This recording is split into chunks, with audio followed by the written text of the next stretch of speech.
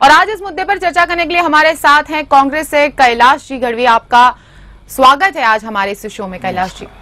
साथ ही है बीजेपी से भावना बेन दवे। आपका भी स्वागत है हमारे शो में। और हमारे साथ हैं सोशल महिला एक्टिविस्ट रुजान खंबाता जी। आपका भी स्वागत है आज इस सबसे पहले चर्चा की शुरुआत करते हैं। मैं सबसे पहले सवाल करूँगी विपक्ष से जो मैंने शुरुआती तौर पे शुरुआत में प्रोग्राम के कहा कि अगर हम बुलेट ट्रेन ही शुरू कर दें अगर हम एयरपोर्ट की तरह सब कुछ एसी कर दें तो क्या वही व्याख्या हो गई विकास की? विकास की व्याख्या का एक भाग यह भी है जी। कि ऐसी व्यवस्था हो। जी। उसमें गलत नहीं है। जी। होना चाहिए। जी। मगर मुझे क्या डर लगता है? जी। डर इसलिए लगता है कि जो सरकार जी। ये जो सरकार है क्योंकि ये गुजरात मॉडल पे केंद्रीय दिल्ली की सरकार बनी हुई है। और जिस तरह से मेट्रो ट्रेन के नाम पे गुजरात को पिछले आठ साल से अंधेरे में रखने में आया है गुजरात के बाद जिन राज्यों में मेट्रो ट्रेन अप्रूव हुआ वहाँ मेट्रो ट्रेन दौड़ने लगी है और अभी भी यहाँ पे चिंगम चिवाने के लिए दे देने में आया है। उसी तरीके से ये बुलेट ट्रेन जो है जी। और वही सरकार दिल्ली गई है जिसने यहाँ गुजरात को आठ साल तक इस मुद्दे पे मूर्ख बनाया है। और वही वे कह रहे हैं कि हम बुलेट ट्रेन देंगे। तो कि कितना लॉजिकल कितने समय में करके दोगे? हाँ मुझे एक विश्वास है कि उन्होंने नया कुछ नहीं किया है क्योंकि यूपीए सरकार ने ऑलरेडी इस मुद्दे पे सर्वे करके और प्रॉपर रिपोर्ट भी सबमिट कर दिया है। आज हमारी सरकार कंटिन्यू होती तो हम पक्का उसको इंप्लीमेंट करते और हम उस पर आगे काम बढ़ाते। आज उनकी सरकार है तो वो करें एक ही हमारी रिक्वेस्ट है कि वो करें। जहाँ तक विकास की बात है कि क्या कुछ ट्रेन या कुछ स्टेशन मॉडर्नाइज करके आप पूरे देश को लाभ दे दोगे तो ये नहीं हो सकता। इसके लिए सब पैरेलल इकोनॉमी पैरेलल डेवलपमेंट की बात करनी पड़ेगी। मगर जो कुछ की एक शुरुआत है हम उसमें पीछे नहीं हटे हम उसको स्वीकार रहे हैं। मगर एक खास ध्यान देने की बात है कि जो आप जो भाड़े बढ़ाने की बात करते हो जो आम आदमी को हैरान करने की बात करते हो एक तरफ़ बुलेट के एसी के लिए पाँच लोगों की बात करते हो इधर 95 लोग ऐसे बैठे हुए हैं जिनको भाड़े भरने के पैसे नहीं है और उनको रोजी रोटी के लिए देश में घूमना पड़ता है। जी। तो उन सबको साथ में लेके चलने की बात करो और उस पर काम करो। जी भावना बहन आप क्या कहेंगे इस पर? क्योंकि कैलाश जी ने सीधे सीधे कहा और एक ज़ाहिर सी बात है कि अगर बुलेट ट्रेन देश में दौड़ती हो जाएगी तो ज़ाहिर सी बात है अगर नॉर्मल जो ट्रेन है अभी उसकी अ, उसका जो फेयर है उसका जो किराया है लोग अफोर्ड नहीं कर सकते हैं। शायद जनरल कोच भर भर के जाते हैं लेकिन एसी कोच तो दूर की बात रही एक स्लीपर कोच भी खाली जाता है कई बार। तो आप क्या कहें बुलेट ट्रेन अगर देश में स्टार्ट कर देंगे लेकिन उसके लिए पैसा तो देना पड़ेगा? बिल्कुल कैलाश जी की जो आशंका है वो उनकी जगह सही है। क्योंकि अब हमने देखा अभी कि तीन सौ उनसठ परियोजनाएँ जो पहले रजू की थी रेल बजट में, उन लोगों के समय में, वो पूरी नहीं हुई है। तो वो वास्तविक है कि कैलाश जी को आशंका ज़रूर होगी। वो उनके स्थान पर सही है, किंतु उन्होंने आशा जताई है कि ये देखो हमने सर्वेक्षण किया है और हमारी सरकार होती तो ये करते अब इन लोगों की सरकार है वो करेंगे। तो मैं कैलाश जी को और देश की जनता को कहना चाहती हूँ कि ज़रूर ये भारतीय जनता पार्टी की सरकार ने जो ये योजनाएँ रखी है देश के सामने। तो गुजरात मेट्रो जैसा ही होगा? भावना में गुजरात मेट्रो जैसा ही होगा? जी। गुजरात में जैसे मेट्रो ट्रेन अभी दौड़ रही है आज मैं पूरा जो रेलवे बजट है वो अहमदाबाद से मेट्रो में बैठ के गांधीनगर गया, वहाँ बैठ के मैंने सुना, क्या ये ऐसे ही होने वाला है? या इनका जो क्वेश्चन है एंकर का, उसका बहुत अच्छा जवाब दूँ आपको। चार दिन पहले अहमदाबाद में रोड पे लोग निकल गए थे और पूरा रास्ता जाम कर दिया। क्यों मालूम है? आपके इसी बुलेट और रेगुलर ट्रेन के डिफरेंस में। जिस तरह बीआरटीएस के नाम पे हायर आप चार्ज लेकर के और लोकल बस को बंद कर रहे थे और जो है लोगों को हैरानगति आ रही थी लोगों को पॉकेट में वज़न बढ़ रहा था क्या वही मॉडल फिर करोगे आप वहाँ? आप देख लो जन आक्रोश आ गया। तो समझ के करना जहाँ ज़रूरत हो वहीं करना न ज़रूरत हो वहाँ मत करना और आम आदमी का ध्यान रखना। जी रुझान जी बारे में आप क्या कहेंगे? माफ़ कीजिएगा भावना बहन मैं आपको फिर बोलने का मौका दूँगी। रुझान जी आप क्या कहेंगे? क्योंकि एक आम आदमी की जेब पर तो बिल्कुल वज़न पड़ने ही वाला है। कमिंग बैक टू सी जो अगर अगर अभी कंपैरिजन हुई है तो मैं बता दूँ कि बीआरटीएस का फंडामेंटल ये था कि भाई इंडस्ट्रियलिस्ट या जो लोग गाड़ी में घूमते हैं, वो बीआरटीएस में चालू कर देंगे, जैसे फॉरेन में होता है, और ताकि अपना जो एनवायरमेंट का वो होवे पेट्रोल कम यूज़ होवे ऑल दोस थिंग्स बट ऐसा नहीं हो पाया। लेकिन वो तो नहीं हो पाया बट अनफॉर्चुनेटली ये लोग ने एएमटीएस का जो रूट चेंज किया और जो बंद किया और जो अपना आंदोलन देखा। वो एक अलग स्टोरी है। बुलेट ट्रेन में भी अभी ये लोग कह रहे हैं कंपैरिजन हो रही है एग्जांपल दे रहे हैं। एग्जांपल कि मान लो कि अभी दिल्ली जाने की, अहमदाबाद, दिल्ली की ढाई हज़ार की टिकट है राजधानी की।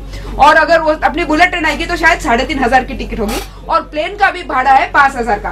तो लोग यही कह रहे हैं कि भाई, हम लोग ये इतने छोटे, अगर ऐसे इंडस्ट्रियलिस्ट लेगा जाएगा तो इंडस्ट्रियलिस्ट नहीं बुलेट में ट्रेवल करेंगे, क्योंकि बोलते इतना हमारा कोई पैसा भी बच नहीं रहा है, कोई टाइम भी बच नहीं रहा तो हम क्यों बुलेट में ट्रेवल करें? अब जो बुलेट में ट्रेवल करने वाला, वो नियो मिडिल क्लास जो हमारा नया कॉइन वर्ड हुआ जो नियो मिडिल क्लास और मिडिल क्लास बुलेट में आएगा। लेकिन वो ये भाड़ा अफोर्ड नहीं कर पाएगा। सो जो इसमें जो अपने को जो दिमाग यूज़ करके, जो जो वो करके ऐसी प्लानिंग करनी है कि हम लोग हमारी बुलेट ट्रेन का इंफ्रास्ट्रक्चर इस तरह बनाए ताकि लोगों का टाइम बच सके और साथ में पैसा भी बच सके। तभी ये सक्सेसफुल जाएगा। वरना आप बोलोगे कि अब मैंने बुलेट ट्रेन दी तो मैं भाड़ा ज़्यादा दूँगा तो ये सक्सेसफुल कभी नहीं होने वाला है। और दूसरी बात कि ये कर सकते हैं क्योंकि हमारे जो अभी एग्जिस्टिंग रेल ट्रैक्स है कुछ नए रेल ट्रैक्स है कुछ कुछ पुराने रेल ट्रैक्स है। तो जो हमारे अभी एग्जिस्टिंग रेल ट्रैक्स है और हमें बुलेट ट्रेन नहीं ऐसी भी नहीं चाहिए कि हमको 400 किलोमीटर की स्पीड चाहिए। हमें करीब 150 से 250 की स्पीड में बुलेट ट्रेन दौड़ानी है, क्योंकि ऐसे भी 120 की किलोमीटर पे तो हम बुलेट ट्रेन दौड़ा ही रहे हैं। इसलिए ये जो हमें नाम, जो बुलेट ट्रेन जो हमें नाम अट्रैक्ट कर रहा है, ये नाम के अट्रैक्ट के साथ साथ अगर हम रेट्स को सही तरह रखेंगे और अगर उसका जो पूरा मॉडल है, जो बुलेट ट्रेन का इम्प्लीमेंटेशन और एग्जीक्यूशन मॉडल अगर उसको हम सही रीत से लेंगे तो हम ये क्या कर सकते हैं कि हम, हमारी जो एग्जिस्टिंग अभी रेलवे लाइंस है, उसी को यूज़ करके, उसी को थोड़ा सा अपग्रेड करके, हम हमारे जो रेट्स है बुलेट के टिकट के रेट्स उसको कंट्रोल में रहेंगे। तो मेन आम आदमी को कब फ़ायदा होगा कि जब उसको एसी की वो सहूलियत मिलेगी लेकिन वो भाड़ा देगा लोकल का तो मज़ा आएगी तो उसको मैं विकास कहूँगी वरना वरना तो विकास तो है ही सब अहमदाबाद जी। अहमदाबाद और मुंबई के बीच में तीसरा ट्रैक का 90 परसेंट काम पूरा होने आया है।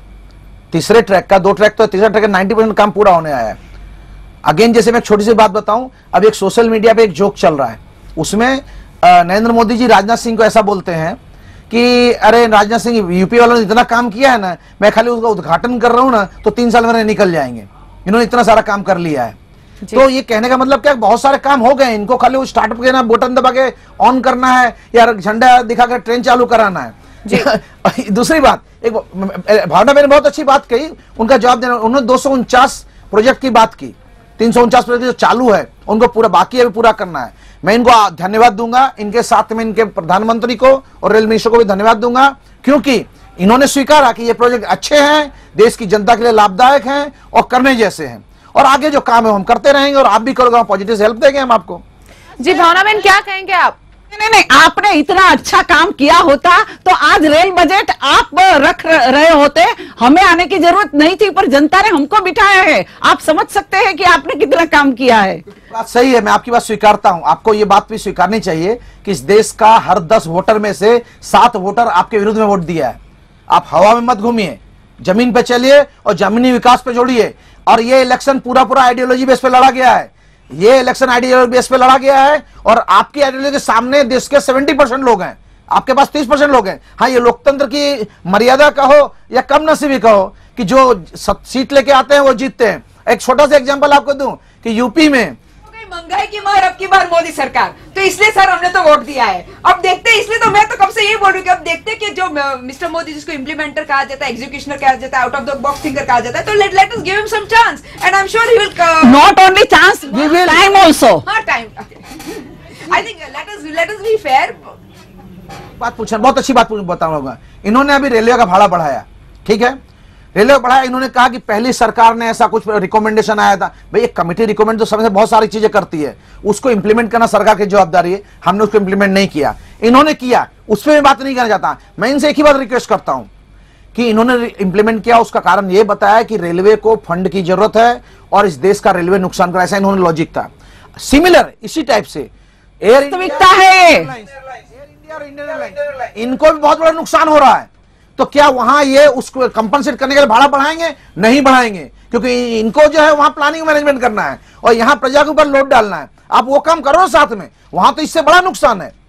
और वहाँ जो पैसे, जो उसके ट्रेवलर्स हैं, वो पैसा दे सकते हैं कैपेसिटी रखने वाले लोग हैं। तो वहाँ वो कंपनसेट क्यों नहीं कर रहे हो आप?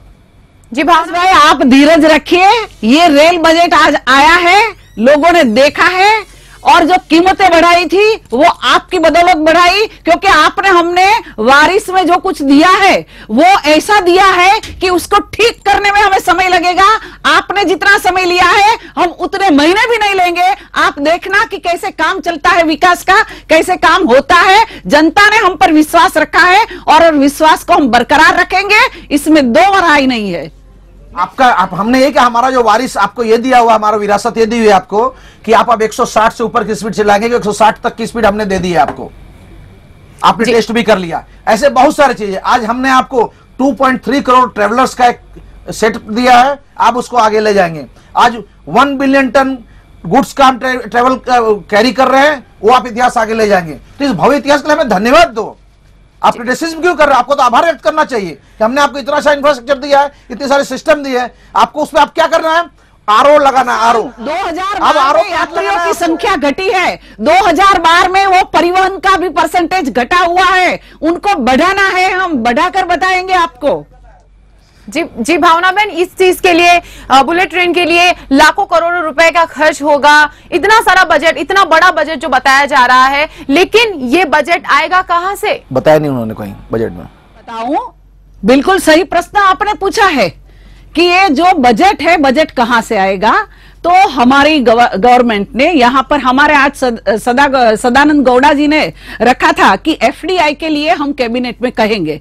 और कैबिनेट अगर मंजूरी दे देंगी तो एफडीआई का भी प्रावधान है और दूसरा पीपीपी है वो उनसे भी पब्लिक प्राइवेट पार्टनरशिप से भी हम ये काम कर सकते हैं। लोगों को और सबको विश्वास है भारतीय जनता पार्टी की सरकार पर सब लोग देंगे हम बनाएँगे सुविधा और कोई बोझ जनता पर नहीं डालेंगे।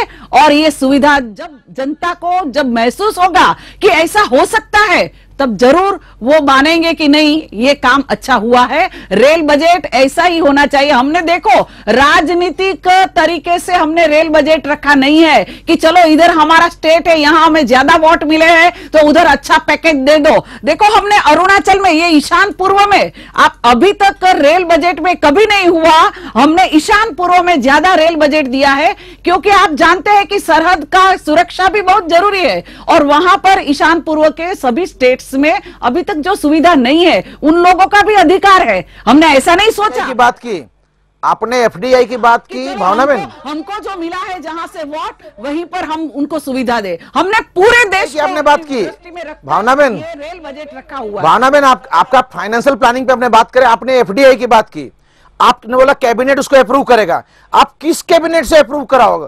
कैबिनेट के उन लोगों से जिन्होंने गए पार्लियामेंट में इसी चीज़ का विरोध करते हुए, इसी पार्लियामेंट का वॉकआउट किया था और विरोध किया था। क्या वही लोग, वही कैबिनेट में नए आए लोग? जो उसका विरोध कर रहे थे वो इसका अप्रूवल देंगे। अगर वही लोग हैं तो आपकी करनी और कथनी में अंतर है। ये देश की जनता को इस इलेक्ट्रॉनिक मीडियम के माध्यम से मैं बताना चाहता हूँ। भारतीय जनता पार्टी ने कौन सी बात का विरोध किया था वो आपको पूरी जानकारी नहीं है। एफडीआई का विरोध किया था आपने इसमें और उसके लिए पूरा पार्लियामेंट का बायकॉट किया था आपने। एफडीआई का पूरा हंड्रेड परसेंट का विरोध नहीं किया है। अभी भी देखो रेल बजट में जो एफडीआई की स्वीकृति है वो उनका विकास के लिए है उसके संचालन में हम एफडीआई का पैसा कहाँ जाएगा? ऐसा नहीं और बड़ी विकास मतलब क्या? एफडीआई आता है तो ठीक है पर छोटी छोटी इंडस्ट्री में एफडीआई का हमने विरोध ज़रूर किया था। रेलवे का विरोध किया था, उसके लिए पार्लियामेंट का बायकॉट किया था आपको आपको याद नहीं है कि भाजपा ने सब याद है विरोध किया है क्योंकि आप तो यही जानते हैं कि भाजपा का ही। विरोध करो। किंतु आए विकास में हम सहयोग अच्छी तरह से लेना चाहते हैं परंतु हम बिक जाने वाले? नहीं है? किसी के आगे। आप सहयोग याद आ रहा है? जब पार्लियामेंट नहीं चले डेढ़ साल तक देश की देश की इकोनॉमी को आपने डिस्टर्ब किया डेढ़ साल इस देश के पार्लियामेंट को चलने नहीं दिया तब ये चीज़ याद नहीं आ रही थी आपको? पार्लियामेंट चलाने की। हमेशा बोलोगे पार्लियामेंट नहीं चलने दी तो वो शी राइटली सेट किया तो आपको चलानी आनी चाहिए थी सर अगर वो नहीं चलने दी तो it was you could have handle ना अब वो अब अगर नहीं चली तो हम दोषी नहीं है ना। अब अगर पार्लियामेंट नहीं चले तो हम दोषी नहीं रहेंगे ना। ठीक है अभी ऐसे भी आपके पास मेजोरिटी नहीं है छोड़ दो इस इस ये बात पे आप चर्चा ही नहीं कर सकते जनता ने इसको छोड़ा ही नहीं है आपके लिए। जनता ने बिल्कुल छोड़ा नहीं है। अपना जो बेसिक्स है get back to the railway फिर भी आप बोल रहे हैं। Let us get to the railway budget basics के जो पहले भी मैंने बताया जी, रुझान जी, मैं आपसे मैं आपसे पूछना चाहूँगी, आपसे कहूँगी, हम दोनों अगर बात करते हैं पोस्ट ऑफ़िस से ही सारा बुकिंग होगा ट्रेन का। क्या हमारे भारत की जो जनता है, वो इतनी एजुकेटेड हो गई है या पाँच साल में इतनी एजुकेटेड हो जाएगी कि वो ये सब कुछ ऑनलाइन कर पाएगी?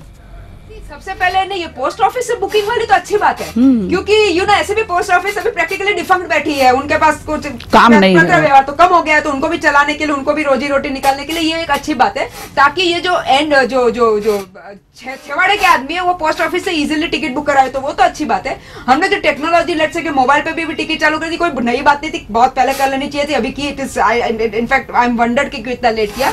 तो ये सब तो पॉजिटिव स्टेप्स इसमें कोई नई बात नहीं है व्हाट आई अंडरस्टैंड कि ये सब तो आई I मीन mean, कोई कोई भी गवर्नमेंट होती फॉरगेट दिस गवर्नमेंट और दैट गवर्नमेंट कोई भी गवर्नमेंट होती ये स्टेप्स तो लेने थे इसमें कोई खास बोझा नहीं पड़ रहा है बिकॉज़ दीज आर ऑल खुद के यू you नो know, ये खुद सेल्फ सस्टेनेबल स्टेप्स है। इसलिए इसमें कुछ नहीं इनफैक्ट इससे सुविधाएँ बढ़ रही है। लेकिन जो मेरा कहना है कि जो अभी लेटर से कि कुछ चालीस हज़ार करोड़ उन्होंने सफ़ाई के पीछे और डाले हैं जो पहले भी डाले गए थे लेकिन फिर भी सफ़ाई में कुछ होता नहीं तो वो जो पैसे जब जो हमारी देशी भाषा में तो चाव हो जाते चाव। वो वो पैसे जो चाव हो जाते वो इंपॉर्टेंट है देखने के लिए। वरना चालीस हज़ार क्या चार लाख करोड़ डालेंगे तो भी कम होगा सफ़ाई में। तो ये सब जो इम्प्लीमेंटेशन एग्जीक्यूशन ऑफ़ कॉन्सेप्ट वो इंपॉर्टेंट है हमें हैंडल करने में। बाकी बजट में देखा जाए तो सी आउट अगर क्वालिटी मैंने पहले भी बोला कि ये कोई out of the box thinking नहीं है। कोई क्रिएटिव बजट नहीं है कि जिसमें मैं कुछ सोचू कि कुछ एकदम नया हो सकता है और जिससे there can be some inflection point हो सकती है। इन्फ्लेक्शन पॉइंट वाला बजट नहीं है बट ये नॉर्मल रूटीन बजट इसमें ऐसा भी मैं नहीं कहूँ। जी, बिल्कुल, इस चर्चा पर हम बने रहेंगे। पहले लेते हैं एक ब्रेक